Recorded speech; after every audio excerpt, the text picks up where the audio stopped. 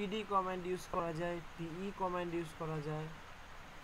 হ্যাঁ এখন আমরা দেখব কী করে লোগোতে যোগ বিয়োগ করা যায়।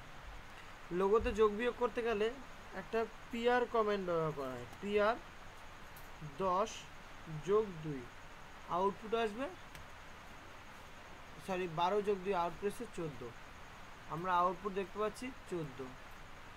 যদি লিখতাম পিআর কুড়ি গুণ তিন, ষাট।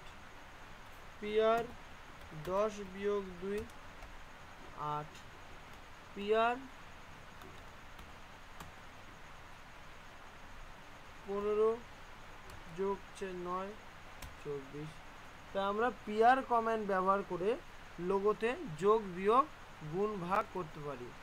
এছাড়াও যদি চাই আমরা লোগোতে কোনো স্ট্রিং মানে কিছু সেট আপ ক্যারেক্টার বা কোনো টেক্সট প্রিন্ট করাতে, তাহলে আমরা লিখব P R I N T print space double কোটের মধ্যে রামচন্দ্র বা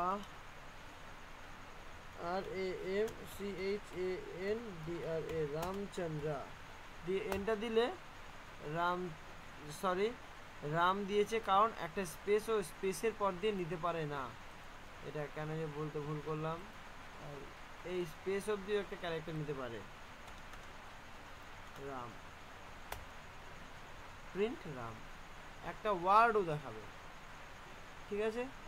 তো আমরা পিয়ার কমেন্ট এবং প্রিন্ট কমেন্টের ব্যবহারটা দেখলাম। তো এই ছিল লোগো এরপর আমরা লোগোর একটা ইনপুট কমান্ডের কাজ দেখব। সেটা আমরা দেখব নেক্সট ভিডিওতে আজ এত অবধি